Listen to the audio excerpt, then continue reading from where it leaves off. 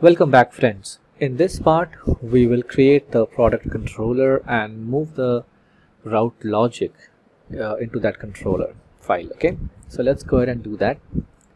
I'm going to right click the controllers folder go to new and create a JavaScript file. I will name it product controller okay? So the very first thing that I will need here is my uh, product mod model. And I can simply go ahead and copy it from there. Okay next I'll define the first route.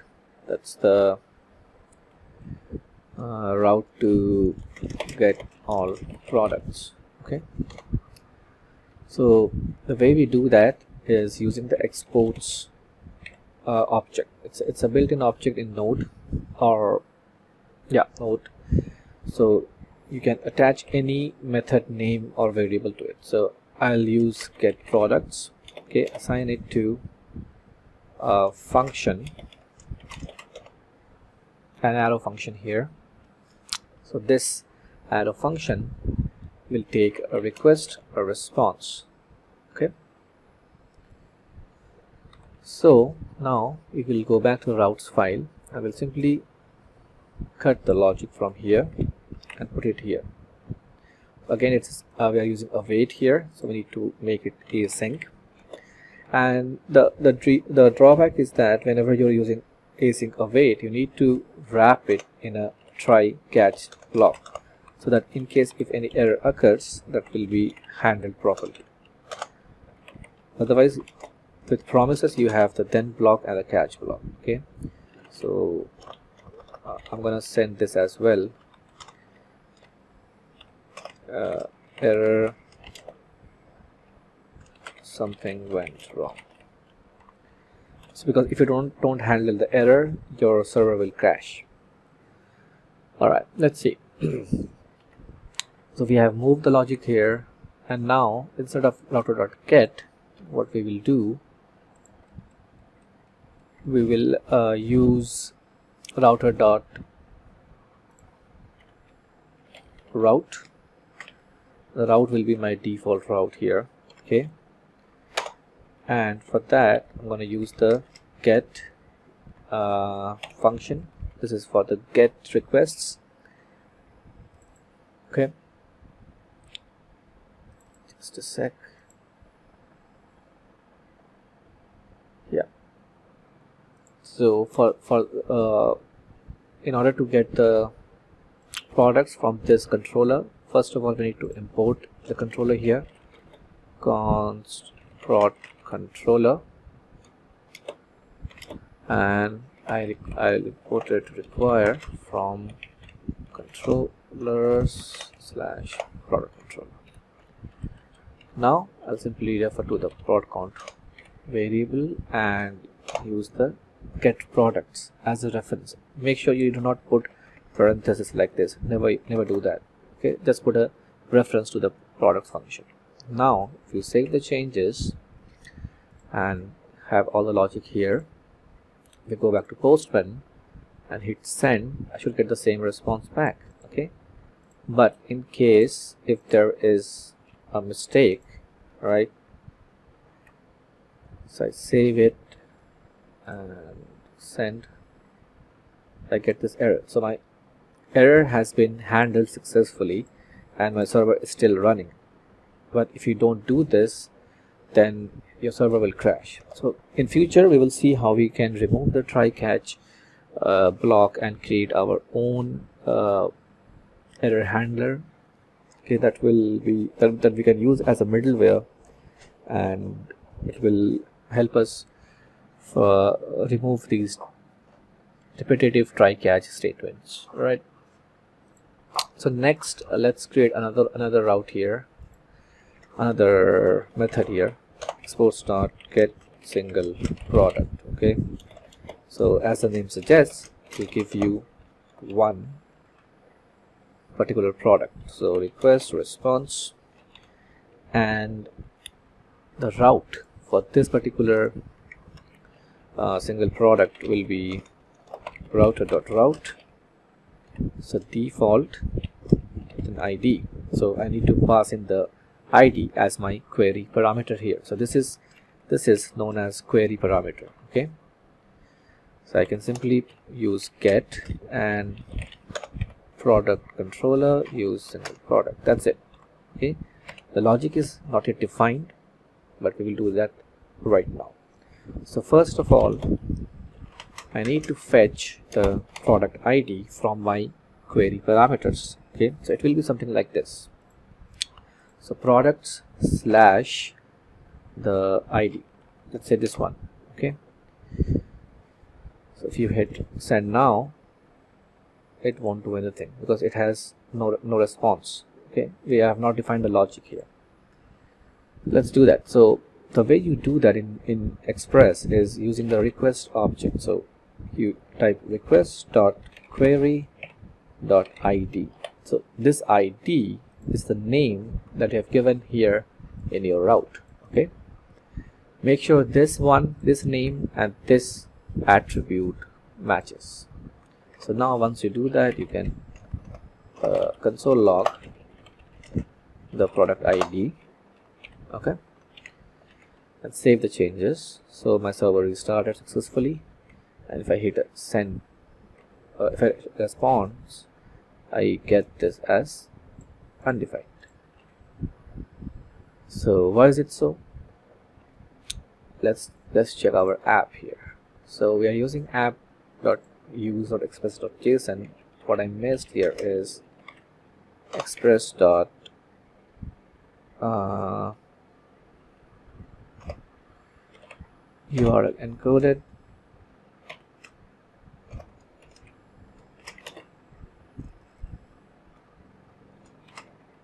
Extended I guess. Extended true something like that.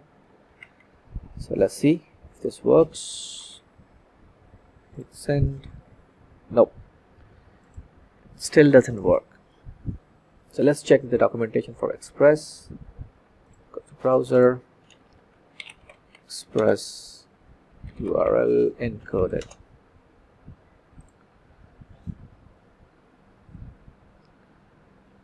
So you go here encode it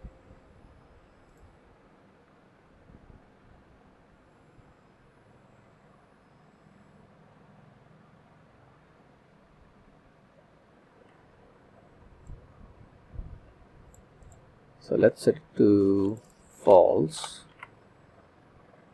and go back here. Hit the request still undefined.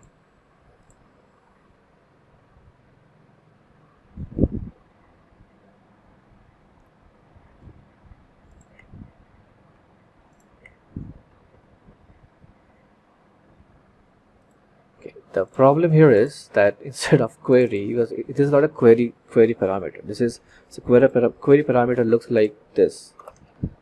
Uh, question mark id equals to this. So if i cancel this and hit send again so now uh, query dot uh, i so to query. Let's see what we get here. Hit send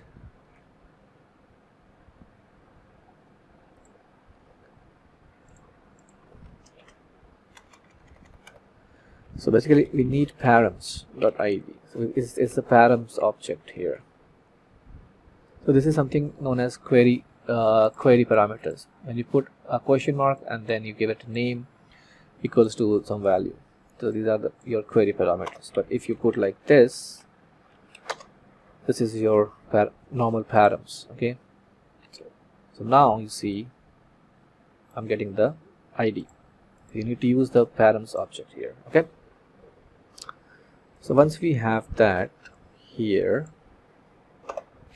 so we'll search for a product using the product model and go to find by ID and we'll pass in the product ID. So again we know this returns a promise so we'll make this await and this function as async so if product so if the product is available we'll send the product back to the requester. Else we'll send a response that says message product not found. Save go back here and hit send. It says product not found. Okay. Because we don't have any products in our products array. Cool. So this is again get single product from the database. So I can create one more uh, function here to create products. Create product. Will be again async then request dot comma response. And here I will get the uh, body. Okay I'll get the data from the body. So this is this will be a post request okay? And if we check our product model we want all these uh, parameters alright. So go here. So I'll simply destructure everything from my uh, requested body. And description I have price I have sale price I have main image. So but in case if these are not sent then you will get an error. So let me just show you. And I'll use request.body okay? So let's see. What happens? If I go here make it a post request and first of all I need to create a route. So it will be on the default default route here. I'll create a post uh, method and use the product controller and go to the create product uh, function. So now if you go here and in the body don't send anything hit send